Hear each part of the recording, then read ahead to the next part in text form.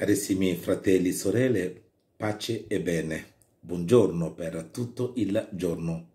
Stamattina meditiamo il Vangelo di Luca, capitolo 21, versetti 12 a 19. Ascoltiamo.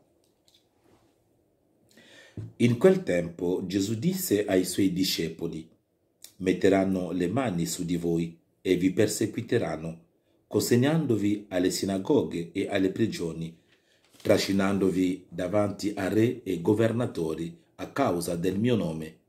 Avrete allora l'occasione di dare testimonianza. Mettetevi dunque in mente di non preparare prima la vostra difesa. Io vi darò parola e sapienza, così che tutti i vostri avversari non potranno resistere né controbattere. Sarete traditi perfino dai genitori, dai fratelli, dai parenti e dagli amici, e uccideranno alcuni di voi.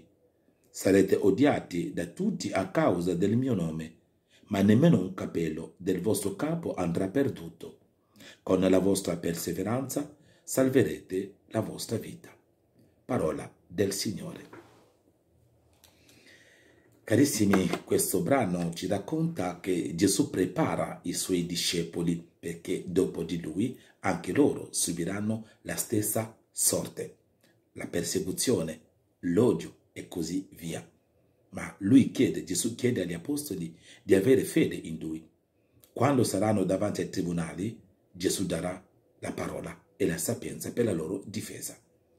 Qui potremo ricordarci dei martiri che nonostante le sofferenze hanno continuato, hanno mantenuto la loro fede e hanno dato testimonianza.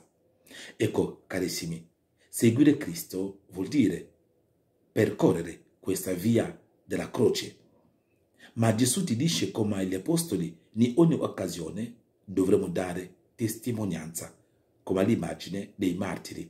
Non dico che andiamo fino al sangue, perché no? Tutto è possibile, ma soprattutto di non abbandonare Dio davanti alle difficoltà, perché tanti di noi oggi non pregano più, non vogliono più sentire Dio, perché secondo loro sono stati abbandonati da Dio.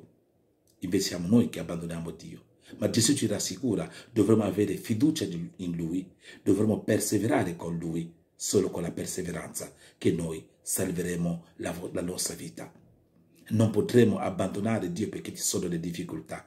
Ogni occasione per noi è un momento favorevole per dare testimonianza, ma di sicuro Dio non ti abbandonerà mai. Allora vi auguro una buona e santa giornata, rimaniamo fiduciosi, perseveranti in Cristo.